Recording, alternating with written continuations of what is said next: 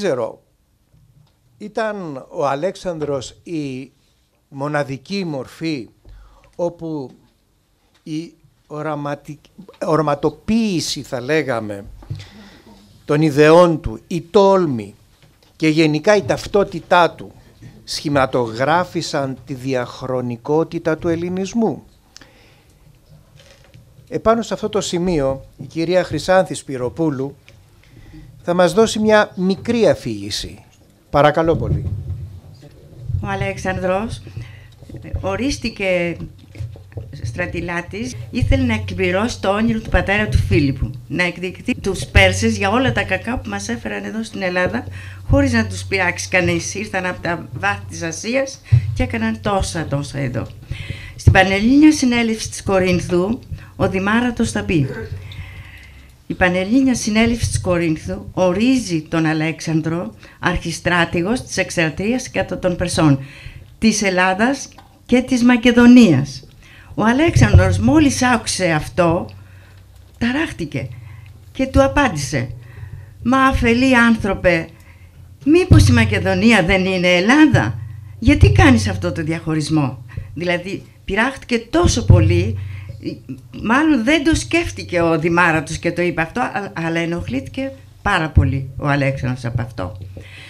Μετά, εκεί ξέρετε που συνάντησε στην Κόρινθο, είχε γίνει πανελληνιά συνέλευση, συνάντησε και τον Διογέννη και ήθελε να τον δει. Λένε στο Διογέννη, Διογέννη σε ζητάει ο Αλέξανδρος, θέλει να σε δει.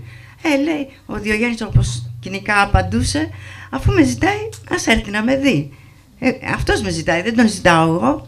Πήγε ο Αλέξανδρος κοντά, του είπανε, πάει κοντά, του, λέει, του λένε οι ακόλουθοι, ήρθε ο Αλέξανδρος. Λέει ο αυτός.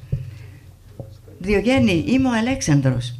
Και εγώ είμαι ο Διογέννης, του λέει ο, Αλέξαν, ο Διογέννης. Ζήτησε μου ό,τι θέλεις και θα το έχεις. Πρώτα πρώτα φύγει από μπροστά μου, του λέει. Μου κρύβεις κάτι που δεν μπορείς να μου το δώσεις. Λέει ο Αλέξανδρος, τι σου κρύβω, μου κρύβεις τον ήλιο και δεν μπορείς να μου τον δώσεις. Είσαι σπουδαίος γεροσοφέ, τον χτυπάει στην πλάτη, είσαι σπουδαίος γεροσοφέ. Αν δεν ήμουν Αλέξανδρος θα ήθελα να είμαι Διογέννης. Ο Διογέννης απαντά. Αν δεν ήμουν Διογέννης δεν θα ήθελα ποτέ να είμαι Αλέξανδρος. Έφυγε ο Αλέξανδρος μετά με τους στρατιά όλα και πήγανε, ε, ήρθαν και στην Αθήνα, πήγανε στο Παρθενώνα, θαύμασε την αρχιτεκτονική των αρχαίων του Παρθενώνα και πιο πολύ το άγαλμα της Αθηνάς. Φύγανε μετά και ήθελε να πάει στο μαντίο των Δελφών να, να πάρει χρησμό από την Πυθία. Πήγανε εκεί όλοι, όμως η Πυθία αυτές τις μέρες δυσκολευόταν να δώσει χρησμό γιατί έλεγε ήταν, δεν ήταν οι κατάλληλες μέρες, είναι οι γρουσούζικες μέρες, απαντάει. Ο Αλέξανδρος απαντάει, λέει, θα μου δώσει, θα μου τον δώσει, θέλει δεν θέλει. Πιέστηκε η Πυθία, μπαίνει μέσα στο ναό, μάσησε φύλλα δάφνης όπως έκανε συνέχεια, συνήθως, βγαίνει έξω μετά και του λέει «Ναι μου, θα είσαι ανίκητος». Ευχαριστημένος ο Αλέξανδρος φεύγει και λέει «Τώρα φεύγω ήσυχος. Μετά από αυτό είχε ακόμη κάτι άλλο πολύ ιερό να κάνει γιατί όπως καταλάβαμε είχε μέσα του αυτή την αρετή και την πίστη σε όποιους θεούς τέλος πάντων πιστεύαν τότε. Πήγε στο Δίον, στους πρόποδες του Ολύμπου Εκεί ήθελε να προσκυνήσει στον πατέρα του, το Δία έτσι τον υπολόγιζε ναι, και να ξεκινήσει μετά για την εκστρατεία. Πήγε μετά στην Πέλα, στην πατρίδα του, εκεί που γεννήθηκε, στη γενετηρά του.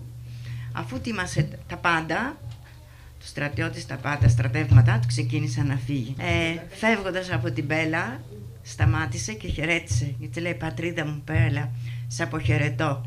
Άραγε θα σε ξαναδώ και έφυγε φυσικά και δεν την ξαναείδε. Μετά πήγε στη, μέσα από, το, από την Αμφίπολη, πέρασαν τον Ελίσπαντο και πέρασαν στην Ασία. Πρώτη τη δουλειά ήταν να πάει στην Τρία.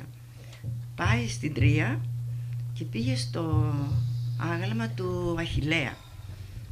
Στάθηκε μπροστά του, γονάτισε και είπε «Για σένα αθάνατε ήρωε, βρέθηκε ένας μεγάλος όμηρος και ύμνησε τα κατορθώματά σου. Άρα θα βρεθεί κάποιος και για μένα να πει κάτι.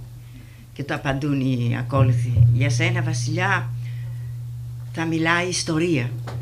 ιστορία μίλησε, μιλάει και θα μιλάει πάντα για τον Αλέξανδρο.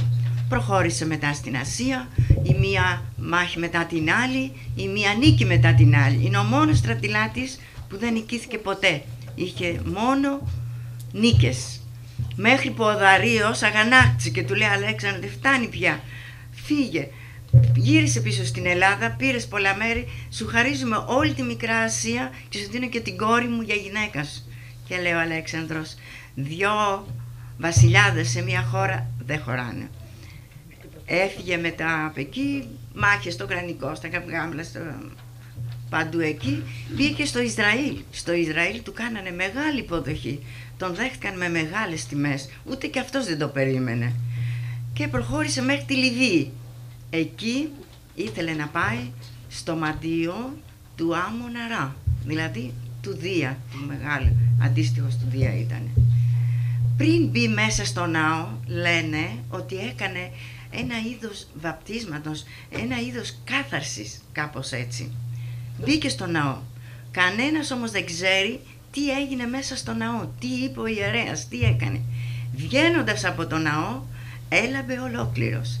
Φορούσε ένα φωτοστέφανο στα μαλλιά, στο κεφάλι του. Ήταν τελείως διαφορετικό, πανέμορφος και λαμπερός. Τόσο που όλοι μετά είπανε ότι εκεί μπορεί να πήρε και τη θεϊκή του υπόσταση. Αυτά τα λίγα περιληπτικά ήθελα να πω και συνεχίζουμε.